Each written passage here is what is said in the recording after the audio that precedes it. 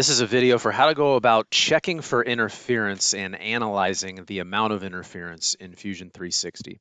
You will notice that I have an object here that looks like a canister, and in this case, it is a cupcake holder. And I kind of have this, you know, little hinge on it, has kind of this swinging gate. And what I want to know is that when I have this open, is there any interference at all? Like, do any of these parts go, you know, into each other? Because that's one of the things we want to make sure of when we design any parts that kind of go together. You know, is there any interference?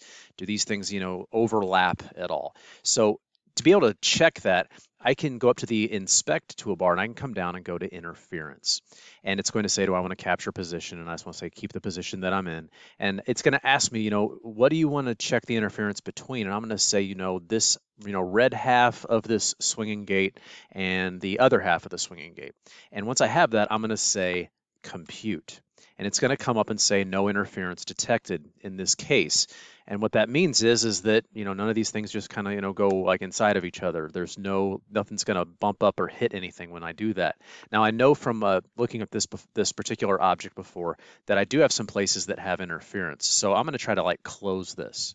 You know, all, not all the way because I know when I close it all the way it, it perfectly fits. But you know when it opens up, does it like opening up a door? When a door opens up on a hinge, you know, is it going inside the hinge at all? Does it perfectly clear that hinge? I want to check that, and I'm going to go to interference here. I'm going to capture my position. I'm going to choose the same two things, and I'm going to go to compute. And it's going to come up and say, you know, you have 53.28 cubic millimeters of interference, and that means that's the volume of material that is overlapping. And I can say, well, you know, obviously I don't want any I don't want any, you know, interference. So I kind of need to take a look around my object and find out where it's interfering.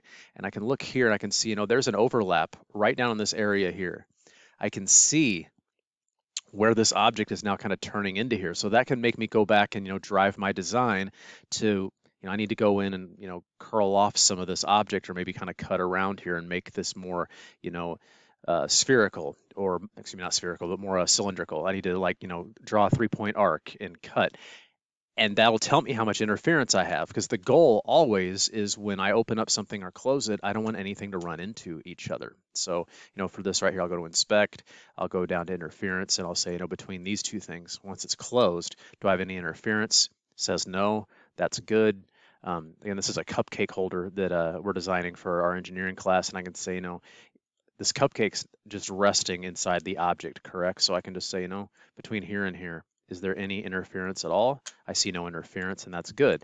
So as I close this gate, I was able to go in with that interference tool and find out if there was anything that ran into each other. So this is good for when I go into 3D printing. I don't want to spend the time and effort to 3D print something where it's going to, you know, run into each other and not work. So this is an excellent tool within Fusion 360 to find out if the parts that you you know are joining together will actually fit with no interference and also giving you an idea of how much volume of material you need to remove. So this has been a video on how to go about utilizing the checking for interference tool in Fusion 360.